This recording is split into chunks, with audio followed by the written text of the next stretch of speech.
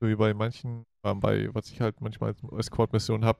Beschütze den, der, dann wird er beschossen und dann stirbt er und dann vielleicht auch nicht und ach, keine Ahnung. Klingt anstrengend. Ja. Jo, da bist du in Gemeinschaft. Dank der fetten Dame. Oh nein! Wir müssen sie finden. Das wird nicht gelingen. Was meinst du damit, Peeves? Sie geniert sich, Herr Oberschulleiter, will nicht gesehen werden. Hab sie durch das Landschaftsgemälde im vierten Stock rennen sehen. Hat was Schreckliches gerufen. Armes Ding. Hat sie gesagt, wer es war? Oh ja, Professor Dumbledore. Er wurde sehr zornig, als sie ihn nicht einlassen wollte. Übles Temperament hat er, dieser Sirius Black. Sirius Black. Mhm. Hier an Hogwarts. Oh nein, Krasser Scheiß. das ist nicht gut. Und deshalb wird die fette Dame nun durch Sir Cadogan ersetzt. Ich weiß, dass euch die aktuellen Vorkommnisse sehr aufgewühlt haben, aber ihr solltet jetzt wirklich ins Bett gehen. Nein. Mann, ey. Ich will jetzt noch mehr Trau Zaubertrankzutaten sammeln. So. Und du lässt mich jetzt da durchrotten. Ja, gut. Also das wird wie eine reine Sucherei. Ja, äh, ihr werdet sehen, wie wir vielleicht einen Tipp dafür kriegen und wie wir es dann finden. Aber das ganze Rumgerenne, das braucht ihr ja nicht zu sehen. Genau, also bis gleich bei einem Fortschritt.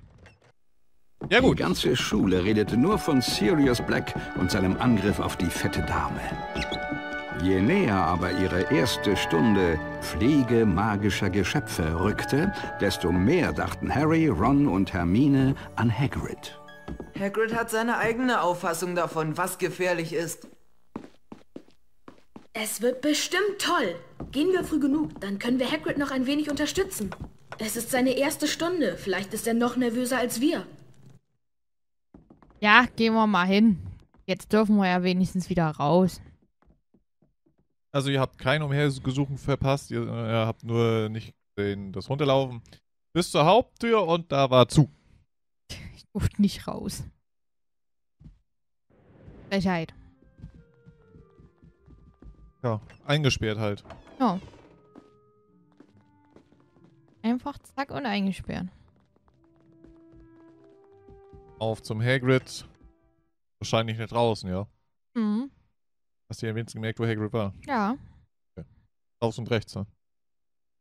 Ja, links und dann rechts. Warum stehst du immer? Da hast du nichts Besseres zu tun, Minion? Das ist der Türsteher. Ohne korrekten Dresscode kommst du da nicht rein. Achso. Guck mal, wie jetzt vor jeder Tür ein Schloss ist. Hm. Ja. Ist immer Sonne, geh weg. Ja gut, dadurch äh, leitet dich das Spiel halt, ne? Sagt, hey, pass auf, da geht's nicht lang. Es ist halt ein Schlauchartig. Kommst du nicht rein?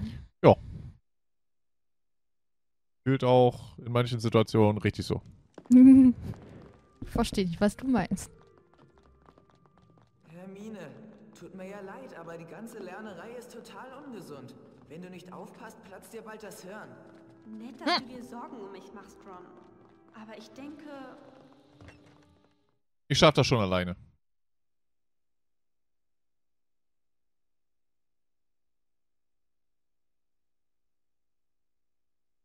So, lädt. Was ganz Neues. Abkürzen kann man nicht einfach geradeaus. Kann man die überhaupt an der andere Seite wieder raus? Da auch ein Tor? Nö. Nee. Okay, naja, na gut. So viel dazu. Da muss ich sagen, da war es in Teil 1 und 2 besser. Du bist rausgegangen und konntest halt direkt abhauen. Gut, hier haben sie halt das Schloss, die Burg, whatever. Ähm, Ja, mir die Brücke auch. ja, haben sie halt mehr dargestellt. Hier dieser Steinkreis. Die Eulen.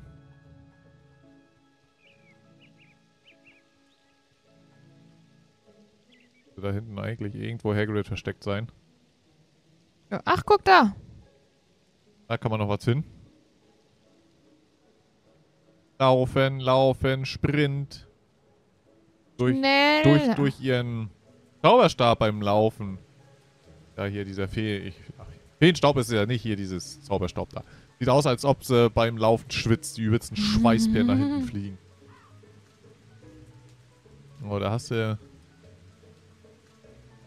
was zum Sammeln. Das sind die Panzer wahrscheinlich. Ich kann nur einfach sagen, komm mal. Oder was?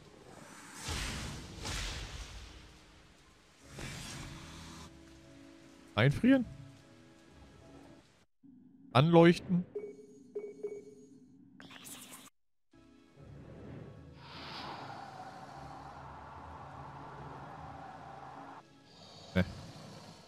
Hat dich nicht wirklich interessiert, ne?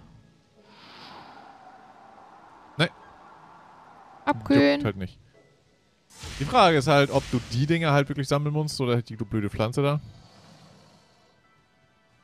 Komische Knospe. Einmal anschießen.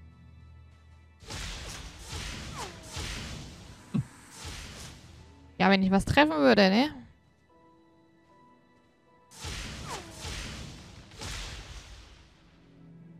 Hier wird ausgespuckt.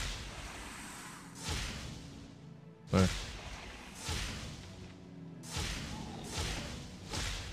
Habe ich vielleicht jetzt irgendwas in meinem Journal stehen?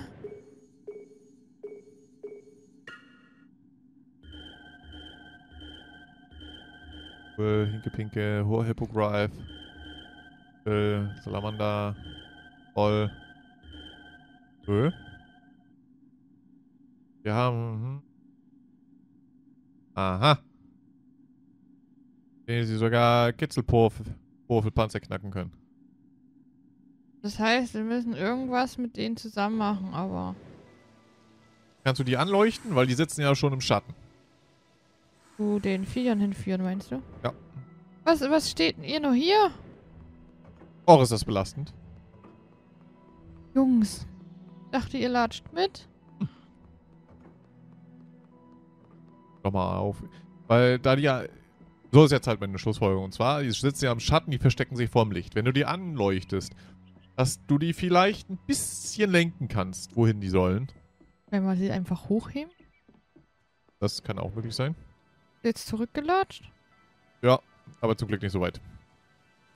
Ich will erstmal versuchen mit dem Hochheben, bevor. Das kann ja sein. Kannst du die Schlafen irgendwie hochheben? Greifen dich an. Boxen dich die Dinge.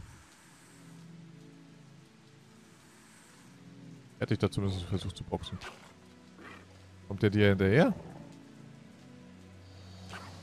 Nö. Okay.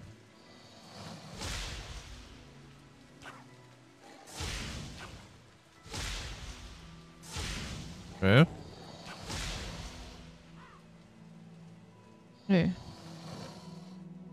Kannst du... Naja gut, die Pflanze ist ja festgewachsen. Der war auch Schwachsinn.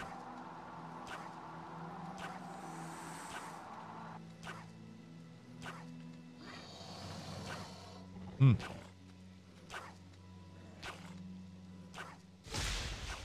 Kannst du halt vielleicht blocken, wenn er angreift? Lass die nicht einfach selbstständig weiterlaufen, die Dippen. Das ist wirklich belastend. Lass mich raten, du kannst nicht durch die Bäume abkürzen. Oh, hey, hey das hätte ich tatsächlich jetzt Nee, null ich auch nicht. Dass die einfach richtig schön, so wie gefühlt in GTA oder ähm, Arma, einfach zack, bumm. Komm ich denn nicht weiter. Dass das halt ganz klassisch geblockt wird.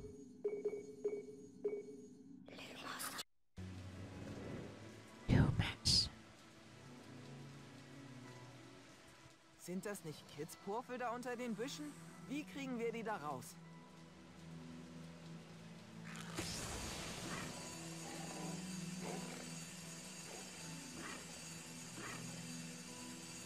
Ja, siehst du.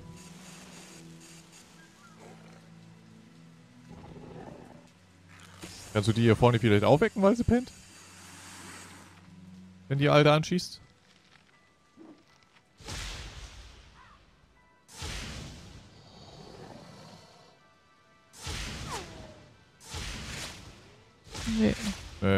Hätte er sein können.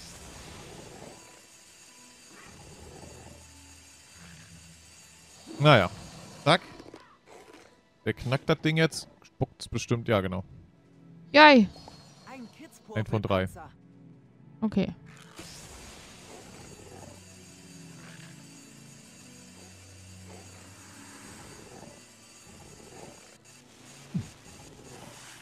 Da sind die Batterien leer. Man kennt's. Noch nicht dicht genug. Ne? Jetzt. Aber schön weit noch weg. Wird das Ding gespuckt.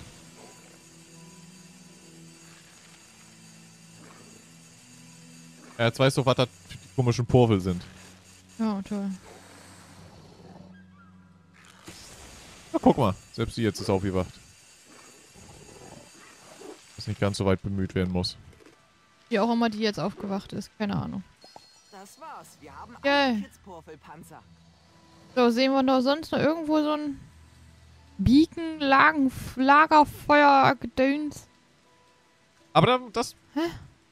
Wieso ist das immer noch da? Wir haben es doch. Du Wer weiß. willst. Keine Ahnung. Vielleicht für späteres Mal. Keine Ahnung. Aber das muss man sagen, das ist halt cool gemacht. Ja, entspann dich. Das ähm, ist tatsächlich cool gemacht, dass man bei dem jetzt und halt bei den äh, komischen Feuerdamen äh, das halt von vornherein schon gesehen hat.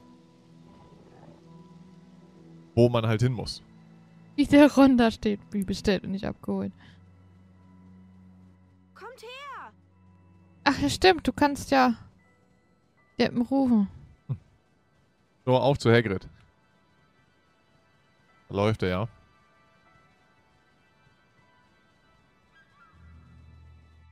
So. Na, Hagrid? Es lädt zur Cutscene.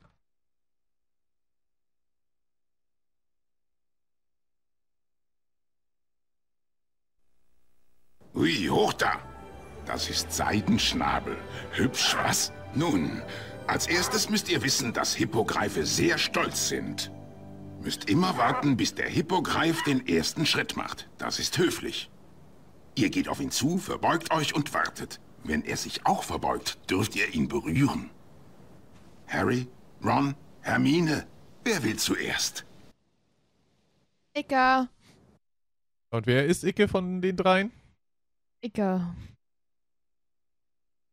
Ist nicht Hogwarts Legacy. Icke.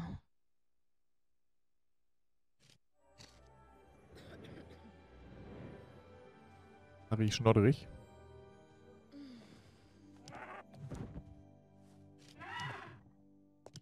Los, steig auf seinen Rücken. Oh, darf's fliegen. Oha.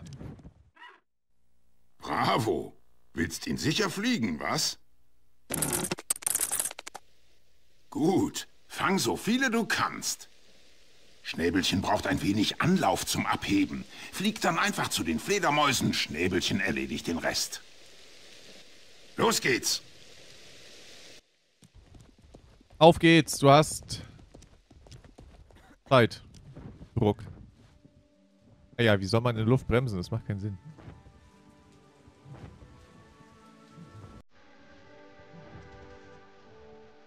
Oha! Das hatte ich jetzt nicht erwartet, dass da gleich zwei mitgenommen wurden. Jetzt schön von oben nach unten. Jo, jo, jo. Nochmal drei hinterher. So, und Wendekreis. Uiui.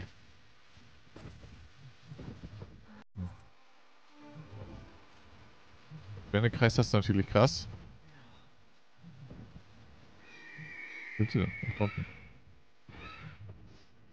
Hin. Tief. Wir haben dich schön gebaitet. Fünf weg. Ah, nicht schlecht. Zehn Stück hast du noch. Alpha-Wand. Eine Minute 35 noch. Eine. Neun to go. So ein 5er wäre nicht schlecht nochmal. Zwei weg. Sieben to go.